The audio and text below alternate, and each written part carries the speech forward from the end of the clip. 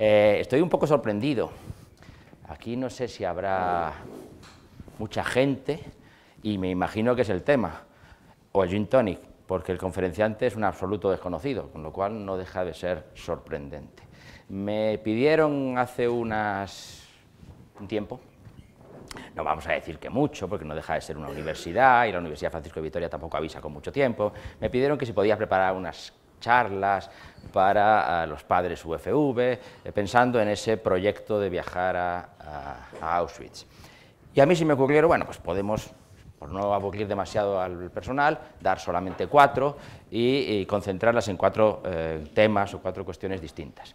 La de hoy, introductoria si queremos, pretende preguntarse, eh, más preguntarse que dar ningún tipo de respuesta muy segura, por qué y cómo llegó eh, Hitler al poder. Y no solo mm, porque se hunde la República de Weimar, que se hunde y salimos hacia una solución autoritaria, sino la extraña solución autoritaria en la, que, en la que cae Alemania. O sea, el régimen de Hitler es un régimen peculiar, distinto, mm, único en muchos sentidos. La charla que daremos dentro de un par de semanas, creo, o tres, no sé las fechas, las tengo apuntadas, les prometo llegar llegar en su momento puntual y a tiempo. Eh, la llamé, eh, mm, creo que, historias de burgueses o algo parecido. Pretendía plantear un problema, ¿por qué los alemanes apoyaron a Hitler tal como le apoyaron? Yo estoy convencido que la inmensa mayoría de los alemanes apoyaron a Hitler. No quiere esto decir que la inmensa mayoría de los alemanes fueran nazis, pero que Hitler fue su jefe y el jefe de su régimen y tal, y lo apoyaron sabiendo más o menos quién era, qué pensaba, porque nunca escondió lo que pensaba ni los objetivos que tenía. Entonces habrá que preguntarse cómo es posible que una gente como esa, o como nosotros, de ahí el término de burgueses, gente normal, gente de clase media, preocupado porque si los hijos estudian y si llegamos a fin de mes, apoyaron un régimen como el de Hitler. La tercera charla, que ya, pues ya, si no sé cuándo será la segunda, imagínense si me preguntan cuándo será la tercera, eh, se centraría en la cuestión del holocausto, que fue, que, cómo lo podemos caracterizar, por qué tuvo lugar, cómo nos comportamos unos y otros ante semejante cosa, y, me incluyo, porque no es una cuestión solo de alemanes, hay muchas más gentes involucradas, directa o indirectamente, en la responsabilidad eh, en torno a esa historia. Y la última, nos llevaría a preguntarnos por el perdón, el olvido, cómo pasamos página, a quién le echamos la culpa, por qué le echamos la culpa a unos y a otros no, por qué nosotros somos muy inocentes y ese tipo de cosas. Entonces, serían cuatro charlas en torno a eso, una aproximación al nacionalsocialismo, a la historia del nazismo, etc. Eh, no sé si sentarme, si me siento... No, no me voy a sentar. Eh, me acuerdo de un colega judío que me dijo, hablar de pie es mejor por no sé qué cosa. Y yo, si un colega sabio dice que hablar de pie es mejor, yo hablo de pie, si me caigo, por favor, no se rían. ¿Dónde comienza esta historia? Esta historia comienza el 31 de julio de 1932. El 31 de julio de 1932 se celebran elecciones al Parlamento alemán y los resultados son los siguientes. El primer partido, el partido más votado, es el Partido Nacional Socialista de los Trabajadores Alemanes, el partido nazi, consigue 13.745.680 votos, el 37,3%, 230 escaños, 123 escaños más que en las elecciones anteriores. La segunda fuerza política es el Partido Socialdemócrata, los socialistas alemanes, con 7.959.712, 21,6% de los votos, 133 diputados, 10 menos que la última vez. Y la tercera fuerza política, no se asusten, solo les voy a dar los datos de las tres primeras, eh, es el Partido Comunista Alemán, con 5.282.636 votos, 14,3% de los votos, 89 diputados, 12 más que en la vez anterior. La situación era alarmante terriblemente alarmante, por la sencilla razón de que si sumábamos los diputados de los comunistas y de los nazis, teníamos más de la mitad de la Cámara. El gobierno no se podía constituir contra o con la oposición de ambas fuerzas, y entonces había que buscar una solución. Hindenburg, que era el presidente de la República, militar prestigioso, pero ya ha entrado en años, del cual hablaremos con un mínimo de detalle dentro de un rato, toma una decisión que es un poco huir hacia adelante. Convoquemos nuevas elecciones a ver si salimos de aquí. Y se convocan nuevas elecciones que se celebran el, 6 mm, de noviembre y el 6 de noviembre nos encontramos con que vuelve a ganar el partido nazi con 11 millones largos, ha perdido 34 escaños. La segunda fuerza política sigue siendo el Partido Socialista, con 7.200.000 votos, 121 escaños, ha perdido 11. El Partido Socialista, perdónenme, como si lo dirigiera Pedro Sánchez, pierde votos, pierde votos y sigue perdiendo votos. La tercera fuerza política es el Partido Comunista, que ha conseguido incrementar el número de escaños en 11 más. La situación sigue siendo la misma, comunistas y nazis son más de la mitad, no podemos gobernar contra ellos, pero se apunta en el horizonte una pequeña cuestión. Los nazis han tocado techo, empiezan a perder mm, diputados, mientras que los comunistas siguen creciendo. La situación es situación de emergencia nacional, la economía está hundida por el crack del 29, el paro se ha disparado, la situación es bueno, de extrema eh, peligrosidad social, y Hindenburg decide entregar el poder a Hitler. 30 de enero de 1933. Lo siento mucho, pero eso de que los historiadores tenemos buena memoria y sabemos todo, eso es mentira. Eh, si no lo apuntamos y lo leemos, nos perdemos. Le entregan... Si se va la voz, me lo dicen ustedes. Eh, le entregan el poder a Hitler convencidos de que mm, le podrán controlar. En el fondo, Hindenburg tiene detrás al ejército, tiene un inmenso prestigio, es un hombre admirado por los alemanes, eh, el partido de Hitler, digo, ha tocado techo, antes de las elecciones, antes de la crisis del 29 solo tenía 12 diputados, si la memoria no me falla, era un partido cuyo núcleo duro, esos que son fieles pese a todo, antes incluso de las crisis, cuando las cosas nos van bien, eran pocos, eh, y el miedo al comunismo era comprensible, comprensible. No nos engañemos, el comunismo era una cosa de la cual nos habían traído montones de noticias frescas, montones de huidos de Rusia, de su violencia, habíamos vivido la revolución espartaquista, o sea que estábamos suficientemente asustados como para que Hindenburg tomara la decisión de dar el poder a Hitler. La cuestión es la siguiente, voy a beber un poco.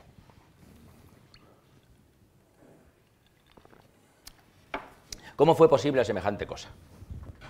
¿Cómo fue posible que un sujeto como Hitler, mm, porque era un sujeto, sí, un culto, amante de la, pintura, pero no dejaba de ser un sujeto, un tipo que en el año 23, en una entrevista, 23, 24, no me acuerdo ahora bien, en una entrevista que concede a la VEU, la revista catalana, afirma que la solución para todos los problemas de Alemania es la eliminación de todos los judíos. Y cuando le preguntan a garrotazos, ese método no sería cómodo, pero insisten que esa es la solución y nunca esconde ni sus objetivos ni sus planteamientos. pero llega al poder. ¿Cómo es posible que llegue al poder? Y cómo es posible, además, que llegue al poder después de la derrota que ha vivido el nacionalismo alemán en 1919. O sea, el nacionalismo alemán ha sido arrollado en la Primera Guerra Mundial, ha sido derrotado, y esta gente va a ser capaz eh, de convertir esa derrota en un factor de fortalecimiento, curiosamente. Años después, el nacionalismo parece mucho más poderoso en Alemania que en el momento del final de la guerra. ¿Y cómo es posible, además, que la solución a la crisis de la República no sea una salida dictatorial clásica? Una dictadura militar, pues una dictadura conservadora, un régimen, si queremos, pues como el de Franco o como el del portugués. No, es un régimen completamente distinto, revolucionario, totalitario, ultranacionalista, racista. ¿Cómo es posible que se construya semejante sistema? Si uno quiere preguntarse esto, quiere buscar alguna respuesta a esta cuestión, debemos enfrentarnos a dos o tres grandes cuestiones. Una, ¿por qué se hunde la República de Weimar? La República de Weimar, la República que se establece al acabar la Primera Guerra Mundial, se deshace mm, como un azucarillo más deprisa de lo que cabría pensar por culpa un poco de todos. Eh, habría que preguntarse eh, cuáles son los orígenes de eh, la ideología nazi. O sea, ¿qué hay detrás del planteamiento nacionalsocialista que construye ese modo de pensar? Habría que preguntarse cómo el nacionalismo alemán se recupera de esa crisis, cómo el nacionalismo alemán sale de la derrota del 14. Habría incluso que preguntarse, pero eso lo dejaremos para otra ocasión, ¿Cómo es posible que los alemanes, sabiendo quién es Hitler, apoyen a Hitler de la forma en la que lo apoyan? Cuando eh, acaba la guerra, o mejor dicho, cuando la guerra está acabando, se plantea un problema en Alemania, una división violenta de la izquierda. La izquierda eh, entre los partidarios del modelo soviético y los partidarios, la mayoría socialdemócrata, más partidaria de una república que podríamos llamar eh, democrática o electoral, una, una república eh, que caminase lentamente hacia una revolución social importante. Esa división se expresa en, el partido, se expresa en las calles, se multiplica la violencia y paradójicamente esa división fortalece la posición del ejército. Un ejército absolutamente derrotado, porque esto es fundamental. que darse cuenta que el ejército alemán ha sido machacado, pero ha sido capaz de disimular la derrota y el mayor error que se comete en la República es no dejar claro a la sociedad alemana que nos han ganado y por el contrario permitir que desde las filas del ejército se venda la imagen de que, bueno, eh, no fuimos vencidos, nos traicionaron, nos vendieron, nos abandonaron, seguíamos combatiendo y podíamos seguir combatiendo. Eso es falso. La división de la izquierda, el enfrentamiento de la izquierda, la debilidad de la izquierda, hace que el ejército pueda imponer públicamente una imagen. Nosotros no fuimos militarmente vencidos, pero eso es un error. En el año 17, eh, todavía en plena guerra, mm, digamos, a la sombra de la Revolución Rusa, se presenta en el Parlamento alemán una propuesta, la presentan los liberales, los demócratas cristianos y los socialdemócratas, para negociar la paz en un momento en el que Alemania todavía tiene posibilidades de negociar la paz. El Parlamento rechaza esa propuesta no nos engañemos, el ejército del Kaiser impone al Parlamento rechazar esa propuesta, porque el Parlamento del Segundo Reich alemán no era en modo alguno un parlamento eh, liberal o que expresara una opinión eh, donde las fuerzas socialdemócratas o demócratas cristianas tuvieran un peso específico. Un año después, no les queda más remedio que asumir que la derrota está ahí, pero las condiciones para negociar la paz son muy distintas. En el verano del año 18, agosto, septiembre del año 18, dos terceras partes de los soldados alemanes que desertan del ejército durante toda la guerra lo hacen entonces. En dos meses, dos terceras partes de todos los que abandonan el frente, huyen del frente, desertan de las filas, un millón de personas. Entonces, el ejército se ha deshecho. En aquel momento, la marinería eh, en Kiel, se niega a cumplir la orden de sacar la flota al mar para enfrentarse a una batalla supuestamente definitiva con la flota británica.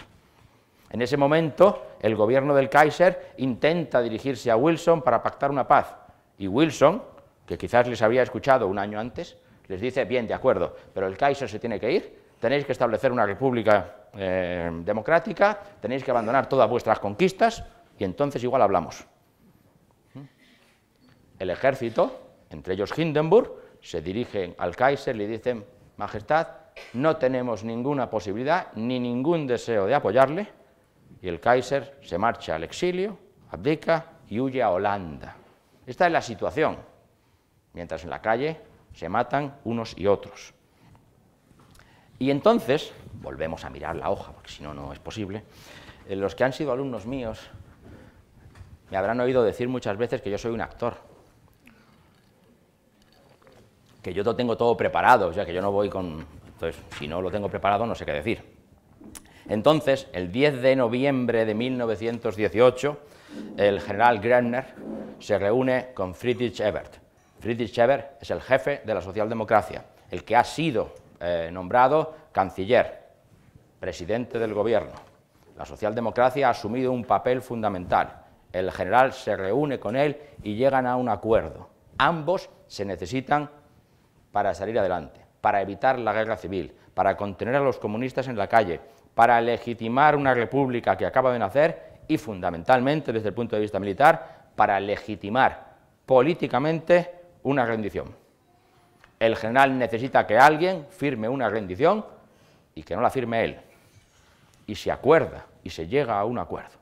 En ese momento tenemos una república, pero una república que se sostiene sobre el interés militar de salvar los trapos sucios, de salvar los platos rotos.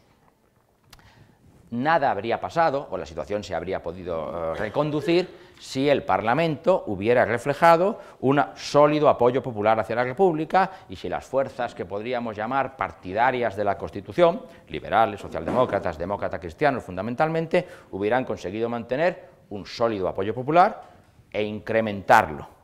Pero curiosamente la suma de liberales, socialdemócratas y demócratas cristianos solo ganan las primeras elecciones de la República de Weimar, las celebradas el 19 de enero del año 19. A partir de entonces, todas las elecciones, para sumar la mitad de la Cámara, es necesario contar con algún partido que no se siente especialmente vinculado a la Constitución de Weimar. No quiere decir que sean enemigos, no quiere decir que las quieran destruir, no quiere decir, no, pero que en principio no se sienten especialmente vinculados a ello. La Cámara no consiguió fortalecer un apoyo popular, no consiguió movilizar un apoyo popular eh, en torno a la República y eso terminó favoreciendo la posición del ejército, la libertad de expresión del ejército y una libertad de expresión que era claramente antirepublicana. Esa suma de liberales, de liberales, socialdemócratas y demócratas cristianos, se pusieron de acuerdo en dos cosas, en redactar una constitución y en firmar la paz. Se pusieron de acuerdo en esas dos cosas y esas dos cosas son el punto de partida de la crisis eh, republicana. La Constitución era una Constitución basada en un acuerdo. Eso, para los que somos hijos de la transición, siempre se, canta los elogios de las constituciones, eh, eh, ¿cómo, decían entonces? consensuadas. Está bien, pero está bien cuando los que consensúan la Constitución lo hacen sinceramente y expresan su apoyo a la Constitución. Pero lo que se manifiesta desde el primer momento es la oposición de las tres fuerzas con una Constitución que no les convence. Las fuerzas políticas de Weimar no eran especialmente eh, partidarias de la Constitución y de la eh, República que ellas mismas habían levantado. Se sabe que una cantidad importante de diputados votaron a favor de la Constitución porque el partido les dijo votad, y se sabe también que un porcentaje nada despreciable de diputados no fueron ni siquiera a votarla. Eso transmite a las masas de los distintos partidos comprometidos en el proyecto una imagen de, bueno, sí, porque no queda más remedio, pero no es la nuestra, pero no es nuestro sistema, pero no nos gusta. Desde el primer momento no hubo un fuerte impulso para eh, fortalecer ese proyecto. Al mismo tiempo hay otro problema en, el sistema político, el sistema electoral daba pie a una Cámara muy dividida. A la ventaja es que ahora vivimos en un mundo donde Internet está al alcance de una tecla, si bajamos de cualquier página de estas los resultados electorales de las distintas eh, convocatorias durante la República de Weimar, el Parlamento, la Constitución del Parlamento, asusta. Hay un montón de pequeños y grandes partidos que se reparten o sea, no hay forma humana de establecer una mayoría, no hay forma humana de garantizar un gobierno mínimamente estable, no hay forma humana de, gobernar, solamente a partir de eh, alianzas que no, eh, que no mm, cuajan porque los partidos son considerablemente eh, variados. Y hay algo más todavía, estos partidos no fueron capaces de movilizar una sociedad que no terminaron de entender. Se observa muy claramente viendo la estructura de los partidos. Había unas diríamos, unas élites eh, gerontocráticas, unos hombres que venían vinculados y gobernando y dirigiendo las estructuras de los partidos desde hace años y no fueron capaces de conectar con unas masas eh, juveniles, con una sociedad eh, rapidísimamente en proceso de cambio. La guerra y los golpes inflacionistas habían generado procesos de igualación social, de transformación profunda, migración campo a la ciudad, multiplicación excesiva de las diferencias eh, entre edades, un peso importante de los jóvenes, había demasiadas mujeres. No, perdón, bórgalo, yo no he dicho eso, nunca hay demasiadas mujeres. Pero bueno, la cosa es que había un problemas sociales graves y los partidos no fueron capaces de responder a esa sociedad en cambio. Sus planteamientos estaban como antes de la guerra. y sectores muy amplios de la sociedad alemana desconectaron. Se observa muy claramente en lo que hoy llamaríamos eh, profesiones liberales, eh, clases medias, pequeños propietarios agrarios, que se sintieron atrapados en una vieja lucha entre eh, las votantes de los partidos de izquierda y las estructuras de la gran empresa. Y vieron que ningún partido les terminaba de identificar, de reconocer, de movilizar. Se ve claramente en el Centrum, el Partido Demócrata Cristiano, que fue el partido que conservó una base electoral más estable y más fiel, pero que no era capaz de ampliarla. Le votaban los suyos, en su inmensa mayoría católicos, pero no más allá de ellos. Entonces, esos partidos no fueron capaces de responder a la sociedad en cambio y fueron perdiendo poco a poco apoyos y apoyos. Pero a eso se añade la firma de la paz. La paz de París fue un disparate. Fue un disparate pésimamente mal hecho. Eh, mil veces he contado, he dicho, que después de una guerra, lo mejor que se puede hacer con el enemigo es borrarle de la faz de la tierra. ¿No? Está feo decirlo, no es políticamente muy elegante, pero como lo que están grabando ahí lo van a destruir, nada más terminar mi conferencia, no importa. Claro, si tú tienes un enemigo, tienes que destruirlo para que, para que no te moleste. O si no, trátalo bien, para que se sienta identificado con el proyecto, el nuevo equilibrio internacional. Pero si ni lo destruyes, y aparte de no destruirlo, le insultas y le maltratas y le pinchas con un alfiler, pues terminas provocando el, despertar de la fiera. La paz de París fue un disparate, un disparate plagado de errores. Plagado de errores, eh, en gran medida es comprensible. Hay un dato interesante. Al acabar la eh, Primera Guerra Mundial, para Francia, Alemania sigue siendo el problema fundamental. Alemania ha golpeado a Francia en la paz de la guerra franco-prusiana, ha invadido en la Primera Guerra Mundial, ha amenazado una y otra vez y está ahí. Para Inglaterra, el problema fundamental es la República Soviética, la Revolución Rusa. Los dos vencedores no se ponen de acuerdo en cómo tratar a Alemania y entonces lo hacen mal. Pero si nos vamos a, los, mm, a los acuerdos concretos de la paz de París, encontramos algunas cuestiones muy interesantes. Alemania perdió el 13% de su territorio, del territorio que tenía en Europa antes de comenzar la guerra, y perdió el 10% de su población, perdió todas sus colonias. Parece lógico, y usted, es que ha perdido la guerra.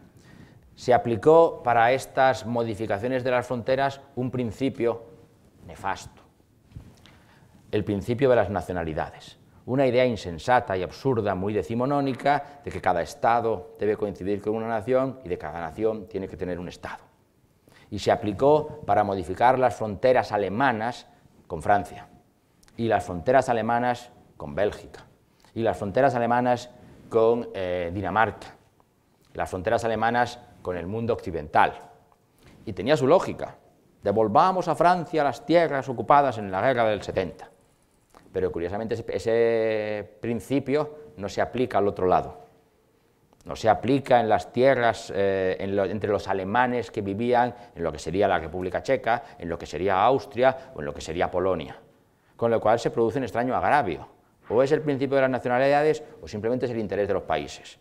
Es lógico que no se aplique, porque si se hubiera aplicado el principio de las nacionalidades a ambos lados del, del imperio alemán, Alemania habría salido fortalecida de una derrota y no derrotada. Pero ahí está.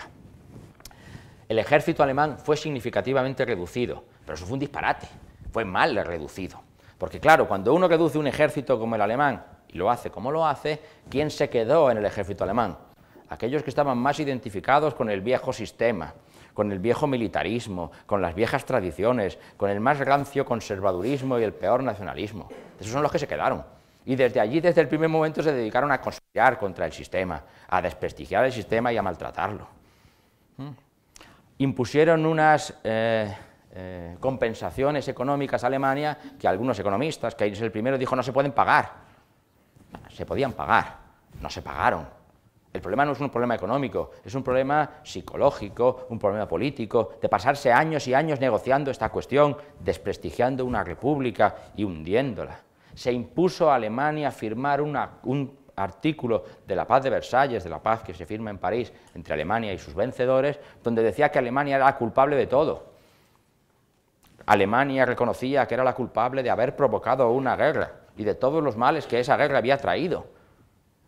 Alemania se sintió maltratada, se sintió humillada, se sintió engañada. Y eso es grave, especialmente grave cuando Alemania no ha asumido públicamente que nos han vencido, cuando la imagen que el pueblo podía tener en su cabeza es que la guerra había tenido lugar en Francia, es que el conflicto había tenido lugar en Francia, es que cuando firmamos la paz todavía tenemos soldados fuera de nuestras fronteras, es que durante la guerra hemos hundido al imperio ruso, la imagen que tenemos es que no hemos sido vencidos, es una imagen falsa, una imagen completamente falsa. Cuando en el año 19 se plantea el problema de firmamos la paz o no firmamos la paz, Hindenburg le dice a Eber, si no firmamos la paz, no podemos contener la frontera occidental.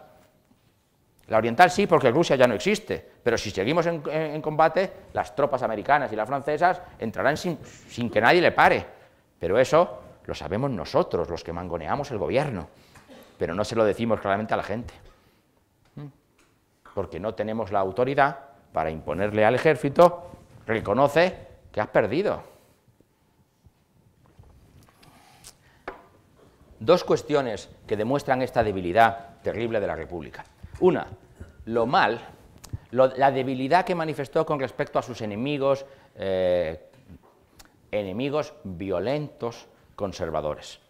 Podemos enumerar montones de asesinatos políticos, intentos de golpes, eh, donde la República o no juzgó, o juzgó con absoluta mm, debilidad, donde ignoró lo que estaba pasando. Eso es terrible porque vas alimentando una ola de impunidad y la impunidad es uno de los principales problemas que se puede levantar en un Estado eh, jurídicamente establecido. Y junto a eso, claramente manifiesta la debilidad del sistema el hecho de que Hindenburg, el principal responsable de la difusión del mito de la puñalada por la espalda termine siendo el presidente de la República y el candidato de las fuerzas que llamaríamos constitucionalistas, hmm, lo cual manifiesta que no tenemos a dónde agarrarnos. Fíjense en algunos datos de lo primero y veremos luego algunas cuestiones de lo segundo. El 28 de febrero de 1919 muere asesinado el presidente de Baviera, Kurt Eisner. El 26 de enero de 1920, eh, un sujeto llamado Hirschfeld dispara, pega dos tiros al ministro de Finanzas, Erzberger.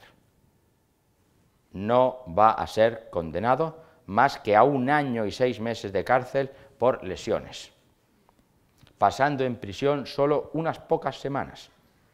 ¿Qué sucede? Que el 26 de agosto del año 21, un año después de este atentado, el señor ministro es asesinado por dos antiguos miembros de la Freikorps. Y estos dos señores no serán juzgados. El, el push de Cap simplemente fracasa porque cuando Cap asume el poder se da cuenta que no puede hacer nada y lo abandona. El 24 de junio del año 22, Rathenau, el ministro de, de Asuntos Exteriores, es asesinado. Y se detiene a los dos ejecutores. Uno muere en la detención y otro se suicida. Nunca se buscó a quién había ordenado el asesinato de este señor ministro. Más curioso es el famoso Putsch de Múnich, el golpe de Estado de Hitler. El intento de golpe de Estado de Hitler es una maniobra apoyada por los militares. En el último momento los militares se echan para atrás y Hitler sigue en esa extraña eh, bufonada patriótica.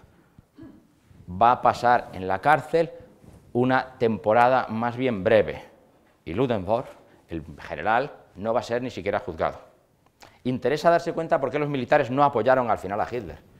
La situación no podía ser peor, estamos en el año 23, una crisis económica gravísima, una inflación disparada, una crisis política grave, los franceses ocupando la frontera. La situación es espeluznante. Es el mejor momento para dar un golpe, es el mejor momento para ponerme en contacto con los militares, es el mejor momento para intentar una maniobra, aunque todavía sea el jefe de una fuerza más bien menor. Pero los militares al final se echan para atrás. ¿Por qué se echan para atrás? Porque se dan cuenta que no pueden gobernar, que no pueden resolver los problemas, porque se dan cuenta de que en el caso de que asuman el poder, las ayudas financieras que Estados Unidos ha prometido no nos las darían, se las darían al gobierno civil, pero no a nosotros. Y porque se dan cuenta de que en el caso de que, ocupen el, de que ocupen el poder, no podrán hacer frente, y se producirá un fenómeno de desprestigio, a la ocupación francesa. Con lo cual, mira, no, te dejamos solo. Y Hitler sale a la calle y acaba en la cárcel y está en la cárcel el tiempo justito para escribir el primer volumen de mi lucha. Así no puede ser. Al tipo que le pega un tiro al señor ministro, pues, algo hay que hacerle, porque si no se genera un problema de absoluta debilidad, de absoluta fragilidad. Y ahí tenemos el caso de Hindenburg. Es claro y es grave que Hindenburg sea el presidente de la República. ¿Qué podemos decir de Hindenburg? Si me voy alargando mucho, ustedes hacen así como movimientos mm, sobre la silla, porque leí una vez eh, que Vallejo Nájera decía que cuando el público empieza a moverse hay que ir terminando. Pero por favor, denme un poco más de tiempo, que hay un par de cosas interesantes que quiero contarles.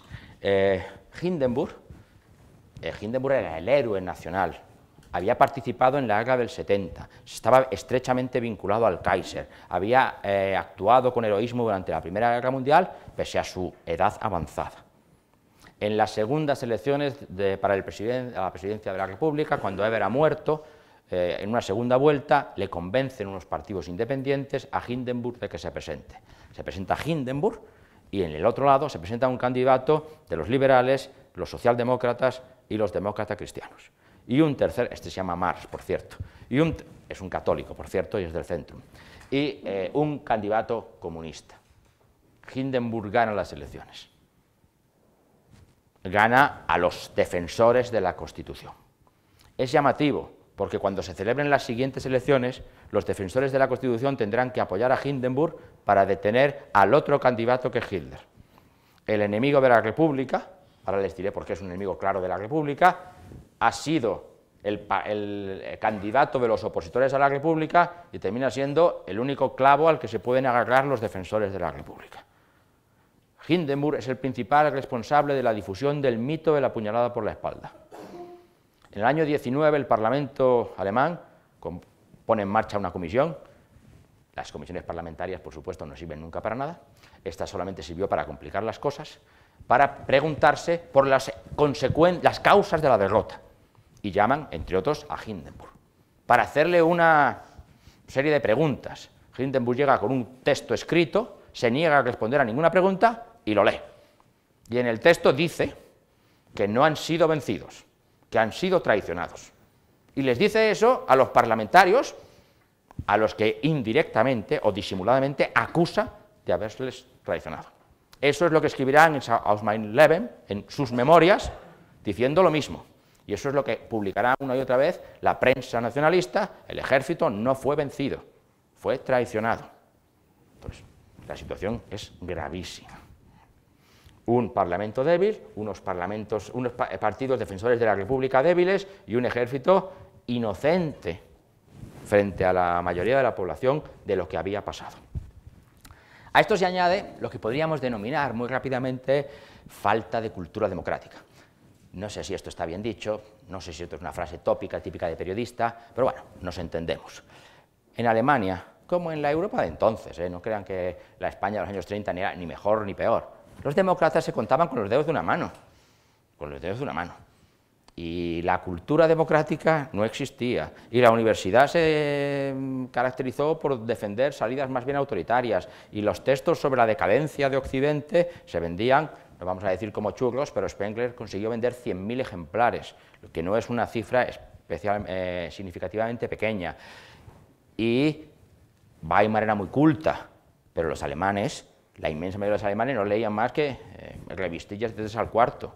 O sea, que la, República de Weimar como manifestación de la cultura era un pequeño margen cultural de un grupo de gentes no especialmente democráticos.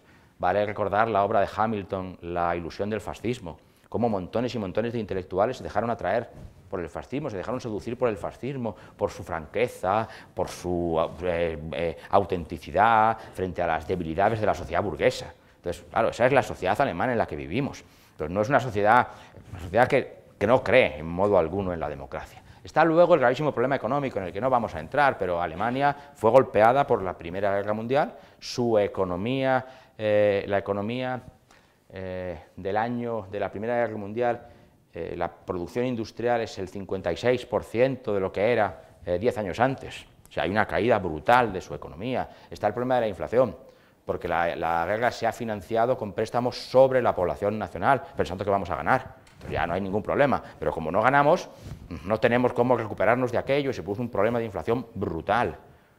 Después hay problemas de sueldos demasiado altos, competitividad escasa, problemas de desempleo, la dependencia extranjera, el crack del 29. Vamos siendo golpeados con una situación económica que desilusiona crecientemente a la población alemana. Entonces uno puede entender que a la hora de votar, votamos al diablo, en un sentido figurado, entiéndanme. No es que mi empresa me haya despedido, es que el sistema se ha hundido, es que nos confiamos del Estado, es que queremos una salida distinta, la que sea. Y la gente votó en masa a los nazis y a los comunistas. Cuidado, valga la pena recordarlo, por si se me olvida antes de irme, que la mayor parte de los alemanes nunca votaron a Hitler. O sea, Hitler electoralmente consiguió unos resultados importantes, ya está. Vale la pena también recordar que Hitler ganó unas elecciones, pero yo no creo que podamos decir que ganó democráticamente. La democracia no, basta, no consiste solamente en que eh, respetemos el voto de la gente, hay otras cuestiones sobre libertades individuales, sobre reconocimiento de los derechos del otro, etcétera, etcétera, sobre el mismo proceso electoral que no permite que, porque han votado más a fulano, eso sea simplemente un éxito eh, democrático. Pero quiero terminar, no terminar no, no se, no se emocionen.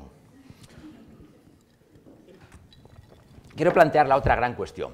O sea, la república se hunde.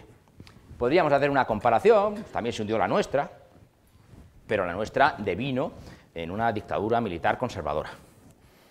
La cuestión es por qué la de alemana deviene en esta cosa. Probablemente porque Alemania era mucho más moderna que España. Hmm. Mucho más moderna en lo bueno y en lo malo.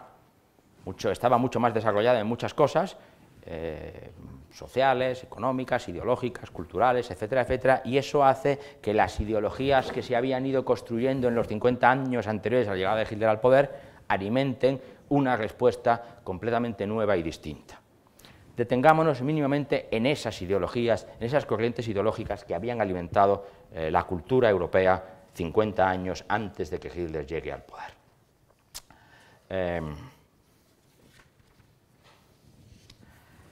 no quiero dejarme, olvidarme de la persona de Hitler.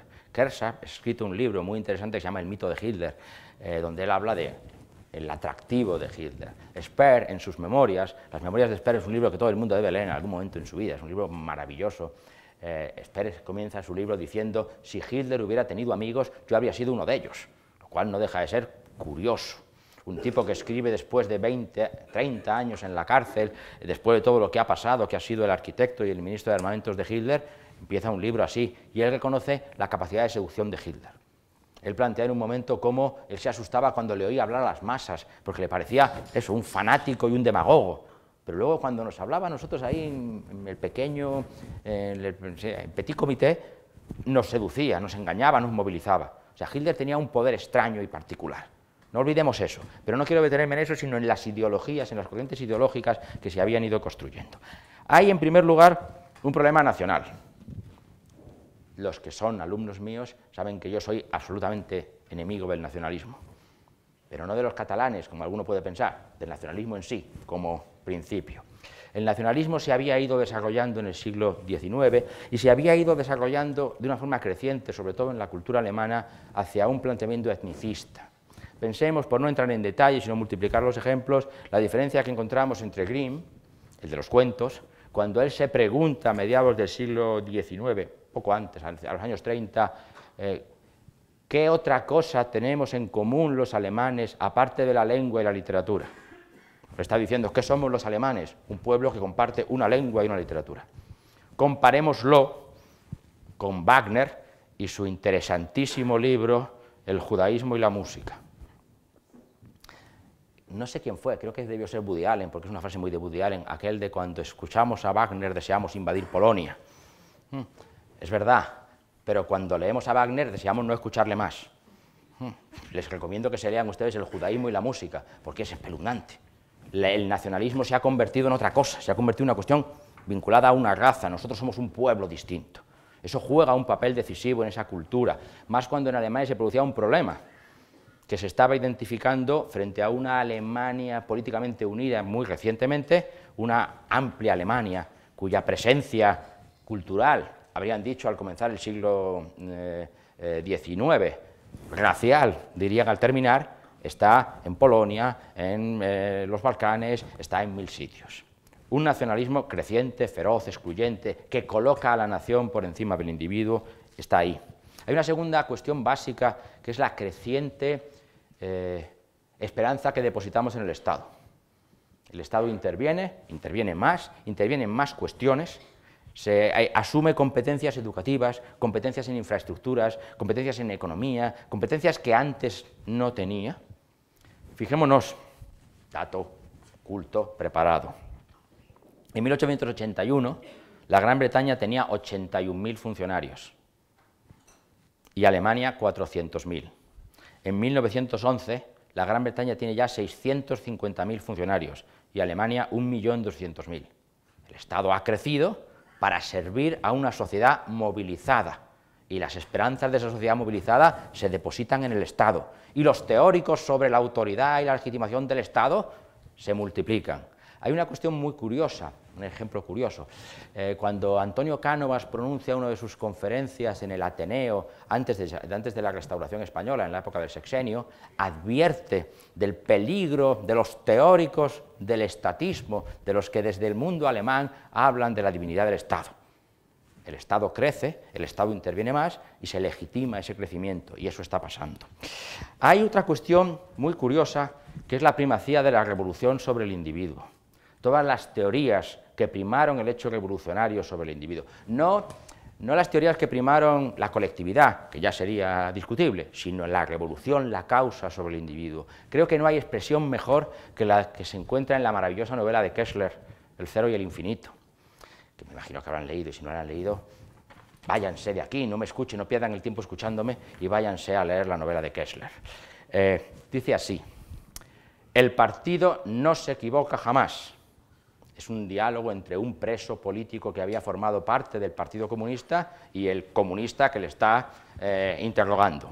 El partido no se equivoca jamás, tú y yo podemos equivocarnos, pero el partido no. El partido, camarada, es algo mucho más grande que tú y que yo, y que otros mil como tú y como yo. El partido es la encarnación de la idea revolucionaria en la historia. La historia no conoce escrúpulos ni vacilaciones, inerte e infalible, corre hacia su fin a cada curva de su carrera deposita el fango que arrastra y los cadáveres de los ahogados. La historia conoce su camino, nunca comete errores. El que no tiene una fe absoluta en la historia no debe estar en las filas del partido. Pero ustedes pueden pensar, ¿qué cosas tenían los comunistas? No, no, no. Planteamientos semejantes podemos encontrar en montones de actitudes revolucionarias de la época, tantos aquellos que hablaron del polvo de la historia, Tantos aquellos, estoy en este momento pensando, por ejemplo, en Weizmann, uno de los líderes del sionista de la época de entreguerras, que hablan de la, e, del polvo de la historia y de los hombres llamados a disolverse como el polvo de la historia. A partir de ahí el individuo ha sido sacrificado a la causa. Todo esto nos llevaría a infinidad de cantos en torno a la violencia, a justificar la violencia por montones de razones o por montones de causas, e incluso a afirmar, esto no se va a quedar aquí, no se preocupen, e incluso afirmar que la violencia es en sí buena, que ya no es solamente un mal necesario para caminar hacia una sociedad mejor, sino en sí buena, educativa, mantiene el vigor de una sociedad que si no se ablanda, se debilita, se ñoñece, cosas de burgueses, dirían no pocos intelectuales de la época. Pero hay cuatro cuestiones que me interesaría destacar, y ahora ya sí para ir terminando. No sé cuánto llevo hablando, eh, pero se me está haciendo interminable. La primera es un problema en torno al discurso cientificista que nos llevará hacia actitudes eugenésicas. La segunda es todo lo que tiene que ver con los discursos sobre el elitismo y la masa, muy típicos del cambio del siglo XIX al XX. La tercera son todas las poderosas corrientes racistas de la época. La raza era un concepto que se usaba con toda naturalidad y racistas éramos todos. Y la cuarta es la popularidad de las teorías conspirativas. Y eso alimenta el modo de pensar de la Europa del comienzos del XX. El cientificismo era maravilloso. Es lógico, ¿eh? Y era popularmente atractivo y seductor. Recuerden la zarzuela. ¿Mm? La ciencia avanza, que es una barbaridad. Dense cuenta que en el cambio del 19 al 20, la, ciencia a través de la técnica está transformando el modo de vida de la gente, lo que no había pasado nunca antes. Estamos viendo cómo nos liberaba, cómo la ciencia podía llevarnos hacia una época de, felicidad. Si a eso mezclamos racismos, intereses económicos eh, y conceptos en torno a la utilidad de la violencia y cien mil cosas más, darwinismo social, llegamos fácilmente a, entender el desarrollo de actitudes eugenésicas. Una ciencia dominada por los expertos al servicio de la comunidad. Eh, Francis Galton lo plantea con claridad meridiana. No hay nada en la historia de los animales domésticos o en la de la evolución que nos haga dudar que puede formarse una raza de hombres sanos, que sería mental y moralmente superior a la de los modernos europeos, tal como los europeos modernos lo son respecto a las más inferiores de las razas negras. Y esto había que hacerlo a través de la manipulación de la descendencia. A través de preguntarse con toda franqueza en las cátedras universitarias si podíamos eliminar las vidas sin valor, como dice un libro de unos eugenesistas ¿será? británico de comienzos del siglo XX. El derecho a la eliminación de las vidas sin valor porque la comunidad no tiene por qué, caería en el peligroso proceso de degeneración, palabra que entonces resultaba muy seductora, casi maravillosa y atractiva, de caeríamos en ese peligro si permitiéramos, bueno, que se reprodujeran los tontos o los canijos. Claro, ustedes dense cuenta que yo, mi hijo es así, es el más bajito de la clase. No puede ser, hay que conseguir que se generen una raza mejor. Parece un disparate, y parece un exceso, y parece una locura, pero esto lo defendió toda la Europa culta de entonces. Es posible, explícito, eliminar vidas sin valor. Tenemos el problema de las masas. Gustave Le Bon. Hay una frase, apague, apague usted eso, por favor, señorita. Hay una frase que mis alumnos han leído, han oído mil veces, porque mil veces se la he dicho, pero siempre insisto, no es mía, ¿eh? No es mía. Gustave Le Bon dice en aquel famoso libro del año 95, las masas se comportan como las mujeres, de forma histérica. Claro, claro, pero des en cuenta lo que se esconde ahí. Es nuevamente, es nuevamente lo mismo. Vamos a desarrollar la psicología de masa para que nosotros los listos, que la dominamos, conocemos esta psicología de masa, manipulemos a la masa. Una ciencia manejada por unos expertos para al servicio de una comunidad. Dense cuenta la cantidad de autores que entre el año 80, 90, 95 del siglo XIX y el año 30 del siglo XX escribieron, sustituyeron el tan positivamente connotado término de pueblo por el tan negativamente connotado término de masa en torno a la rebelión de este espécimen peligroso que era la masa. ¿Cuántos y cuántos intelectuales no hablaron de eso?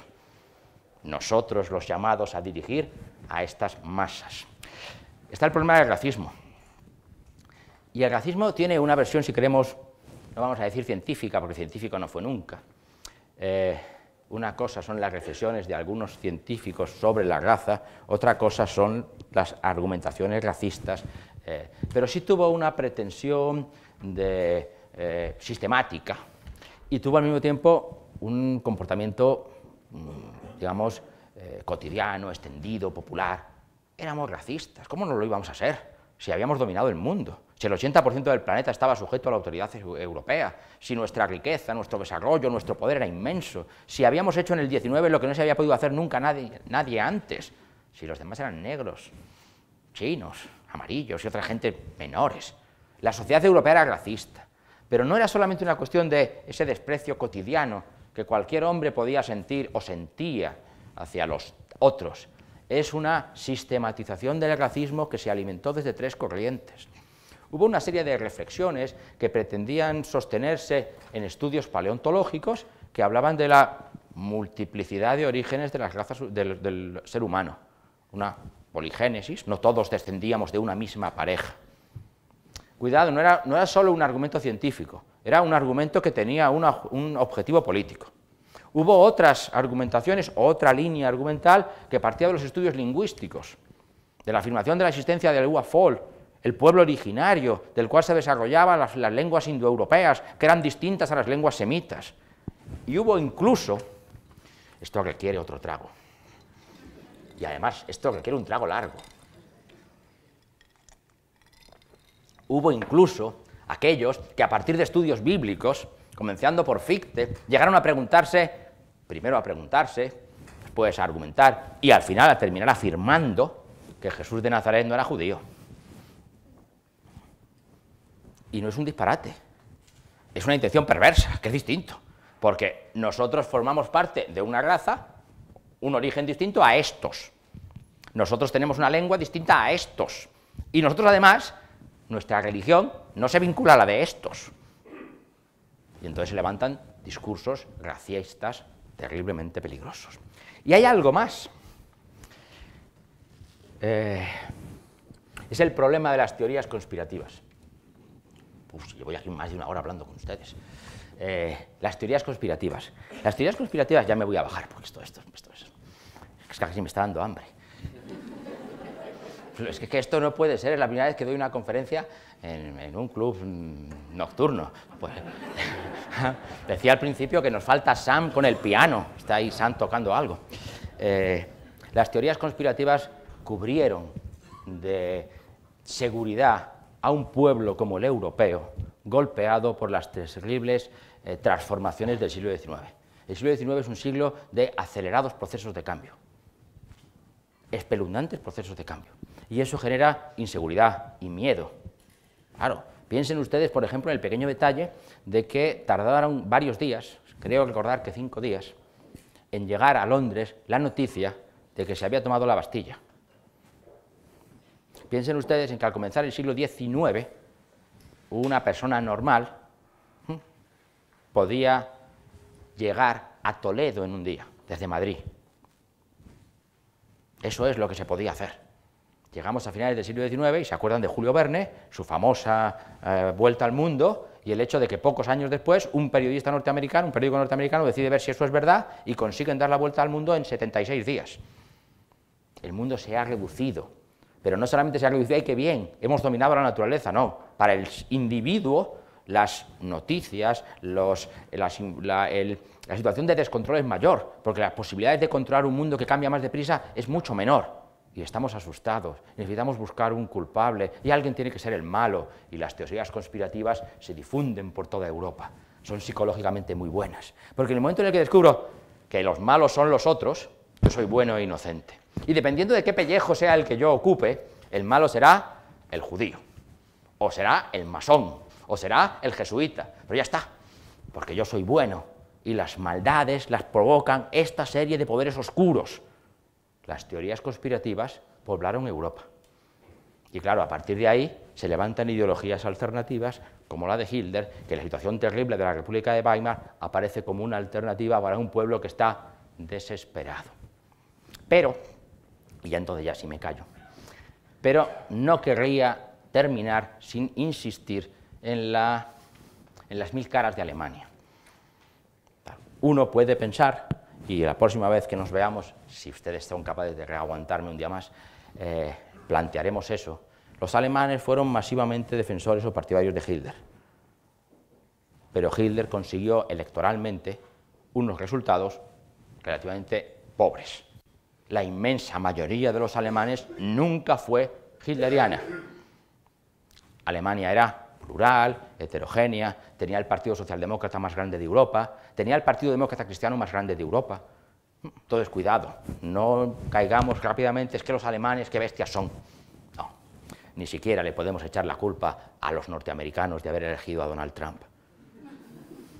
Señores, muchísimas gracias por haberme escuchado.